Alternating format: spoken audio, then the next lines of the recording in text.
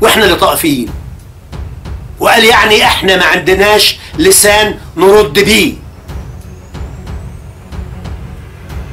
بسأل نفس السؤال مرة تانية وتالتة ورابعة. إذا كان في بلدي مصر بفكر حماس وفكر حزب الله اللي هو فكر الأزهر تختطف بنات المسيحيات ويتم إرغامهم.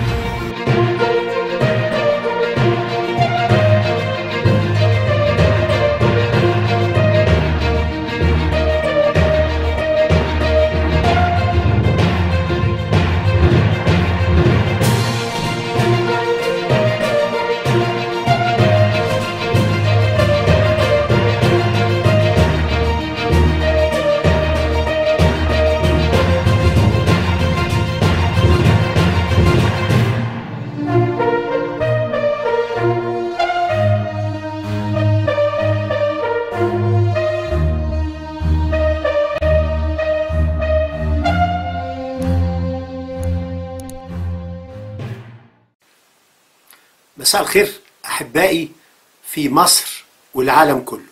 من قناة الصوت الصارخ أقدم لكم هذه الحلقة. إسرائيل بتضرب وإيران بتضرب.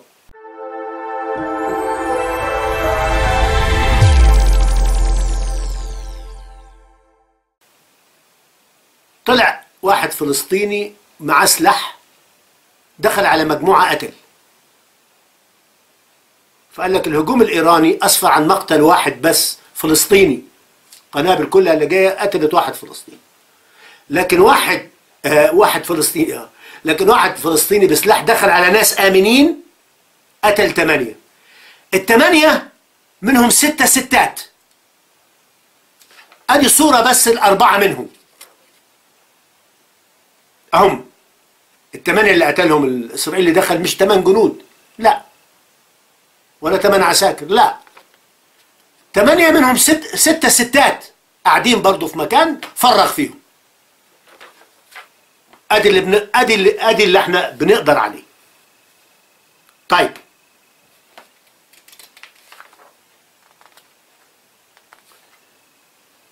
ال... ال... ال...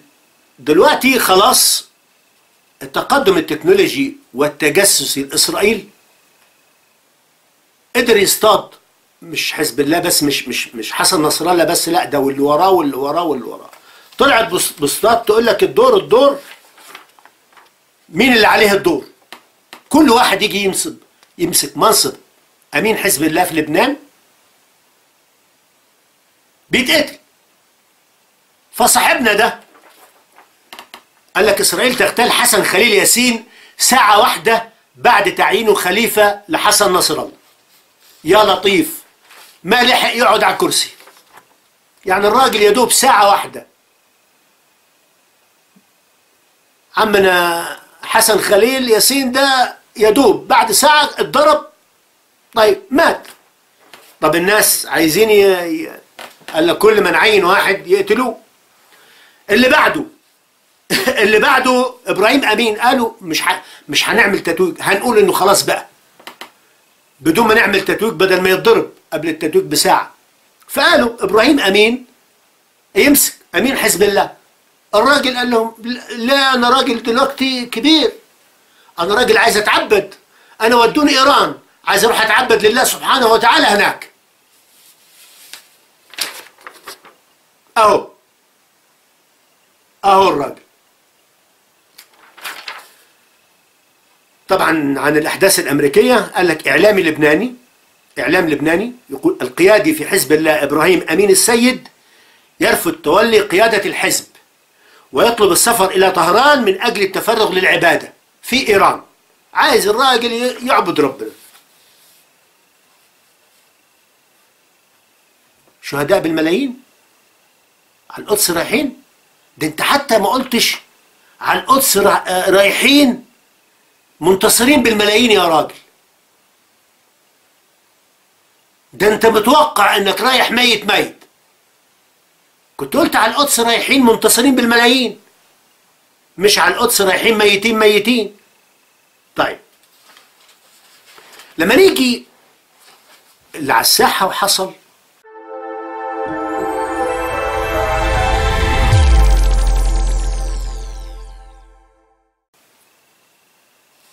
طبعا في ناس كتير أنا أنا ذكرت لبنانيين وسوريين وسعوديين فرحوا لحسن نصر الله لكن في طبعا اللي هو طلع أتباع حماس وأتباع حزب الله اللي هم الشهيد بقى حسن نصر الله. طيب لما تيجي توازن الشعوب دي أنا قلت نصر أكتوبر والناس اللي كانت فيه والشهداء ده ده أنت لو رحت في نصر أكتوبر تلاقي الساري بتاع الأطباء في نقابة الأطباء عدد الشهداء المسيحيين الأطباء أكتر من عدد الشهداء الأطباء المسلمين في حرب 73 الساري عندكم وموجود في نقابة الأطباء. عدد الأطباء المسيحيين الضباط اللي اتقتلوا في حرب 73 أكتر من عدد الأطباء المسلمين. شهداء. لا. الشيخ الشعراوي عايزها مسلمين. حرب إسلامية. لا. تيجي بقى الوساخة والندالة لوحدة شغالة يمكن أكتر من 25 سنة في إذاعة فلسطين. وشغالة تبع قناة الجزيرة بتدخل وسط الأحداث تنقل ما يحصل في غزة. وبتروح في الأقصى بتبكي على اللي بيحصل. وبتروح لأهالي الشهداء في الفلسطينيين والأهالي الأسرى وتواسيهم شيرين أبو عقلة مسيحية. مسيحية. شيرين أبو عقلة مسيحية. وكمان كانت بتراسل القنوات ال- إذاعة إذاعة فلسطين كانت مسؤولة عنها. وهي في صورة دي هنا هنا في صورة هي في وسط الحرب بتنقل. مراسلة وسط الحرب وبتنقل الصورة. هنا رايحة لأحد أم أحد الأسرى بتواسيها. بتواسي أم أحد الأسرى يعني كانت بتفهم في الأصول. وراحت في ال... لها فيديو عندكم. على اليوتيوب. بكاء شيرين بباحات الأقصى. شيرين أبو عقل. شيرين أبو عقلة كانت القوات الإسرائيلية داخلة في جنين عشان تقبض على إرهابي فلسطيني زي ما بيقولوا. إرهابي فلسطيني. فهي كانت موجودة في المنطقة. جاتها رصاصة قتلتها.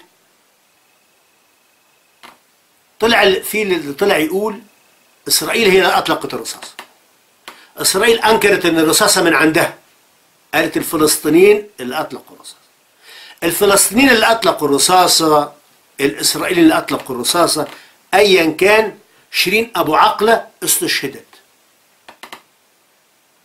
تخيل يا مؤمن إن اللي شغاله طول عمرها بتدافع عن القضية الفلسطينية اللي أنا من وجهة نظري قضية متفبركة ومش كل الحق اللي اتقال فيها. تخيل ان هذه اللي دفعت عمرها تدافع عن هذه القضية المزعومة. يطلعوا مسلمين فلسطينيين يقولوا ما تقولوا عليها شهيدة. هايدي ما مسلمة. هايدي مسيحية. من الموران. إيه؟ يهبل يا ابن لهبل. يهبل يا ابن لهبل أنت قلت عليها شهيدة ولا ما قلتش عليها؟ هو أنت اللي هتدخلها الجنة أو ولا غيرك اللي هيدخلها الجنة؟ وتترحم عليها ولا ما تترحمش؟ هو ترحمك هو اللي هيدخلها في الجنة. يعني على آخر الزمن أهل السلام والمحبة مستنين الترحم من أهل الإجرام والانتقام وأهل الدم. دي تبقى هزلت. تبقى هزلت والله. والله تبقى هزلت. حزب الله لما قال كلمة المقاومة الإسلامية في لبنان همش المسيحيين. عشان كده ماجدة رومي في كلمتها لما قالت أنا أشهد لبيير وأردت لبيير وأردت لأنطوان. أمال أشهد لمين؟ أشهد للي بيذبحونا من الوريد للوريد. عندها حق. هنشهد لقتلة؟ لا لكن الأزهر وحماس والإرهابيين واللجان الإرهابية اللي بتجيب لنا في الكومنتات عايزانا لأ. نقول عليهم كده. وإلا نبقى إحنا إحنا اللي متعصبين وإحنا اللي طائفيين وإحنا اللي إرهابيين وإحنا اللي طائفيين. وقال يعني إحنا ما عندناش لسان نرد بيه. بسأل نفس السؤال مرة تانية وتالتة ورابعة. إذا كان في بلدي مصر بفكر حماس وفكر حزب الله اللي هو فكر الأزهر. تختطف بنات المسيحيات ويتم إرغامهم على الإسلام.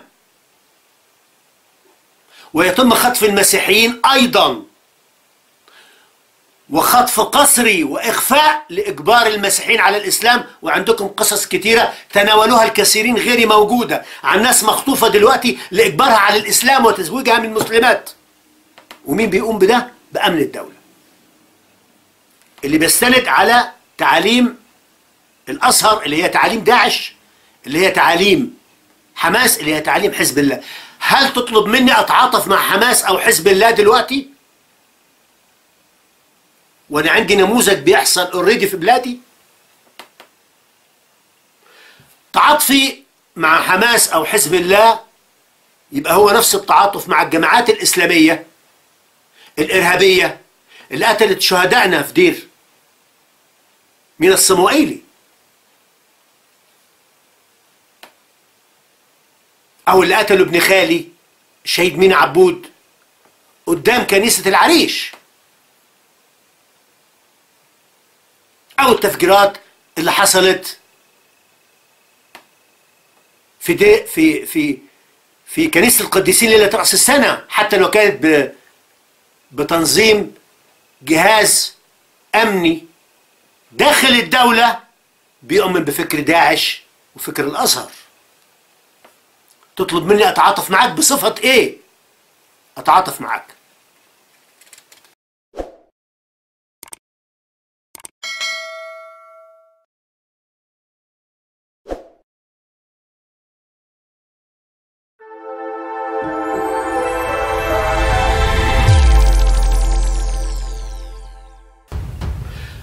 تعاطفي مع حماس أو حزب الله يبقى هو نفس التعاطف مع الجماعات الإسلامية الإرهابية اللي قتلت شهدائنا في دير من الصموئيلي.